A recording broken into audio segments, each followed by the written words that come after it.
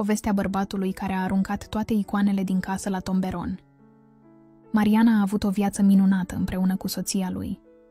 El lucra la o fabrică de mobilă, iar ea era vânzătoare la un magazin alimentar. Împreună aveau o fetiță de 5 ani pe nume Miruna. Fetița era lumina ochilor lor. Pentru ea munceau și se chinuiau în fiecare zi. Să poată să îi ofere un viitor mai bun. Însă când fata a împlinit șase ani, se simțea tot mai rău. Iar într-una din zile, mama a dus-o pe fată la medic.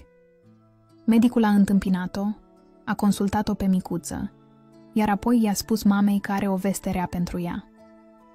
Fetița suferea de o boală nemiloasă și nu mai avea decât șase luni de trăit. Părinții Mirunei au fost devastați. Au plâns zile și nopți la rând.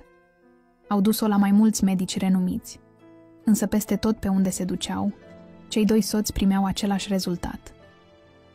Micuța începuse tratamentul și cei doi părinți stăteau mai tot timpul cu ea în spital. Era foarte greu să o vadă cum se chinuie. Zilele au trecut rând pe rând, iar după șase luni, fetița s-a stins. Ambii părinți au plâns zilnic și au suferit enorm. Însă în loc să lase suferința să-i unească, ei i-au permis suferinței să-i dezbine. Cei doi s-au despărțit.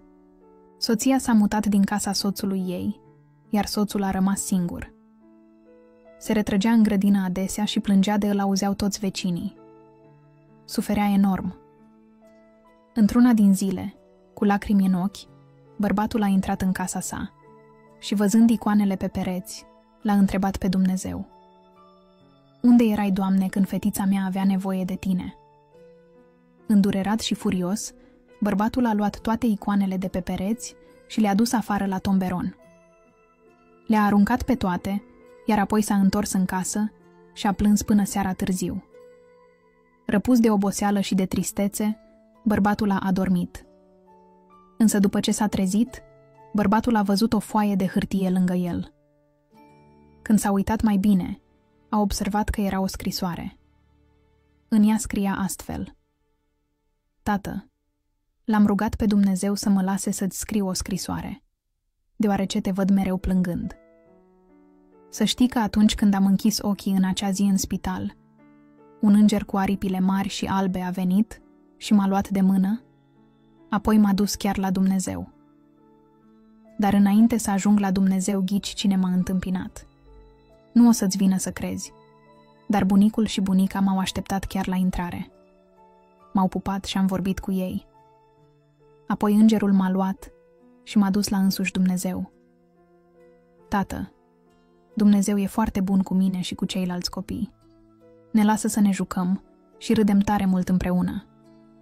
Era să uit. Dumnezeu a spus să îți răspund la întrebarea pe care i-ai adresat-o. Atunci când sufeream, El era lângă mine. Nu mă mai putea vedea suferind, așa că m-a luat aici la El. Tati, nu mă mai doare nimic. Sunt din nou sănătoasă. Te rog să nu mai fi trist. Sunt foarte bine. Cândva ne vom revedea. Până atunci voi sta cu bunica și cu bunicul, cu îngerii și cu Dumnezeu. Te iubesc, tati.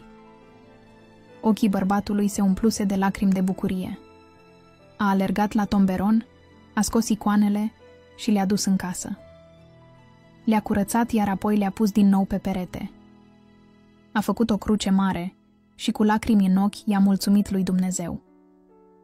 Morala poveștii Oamenii plecați de lângă noi sunt îngeri în împărăția lui Dumnezeu.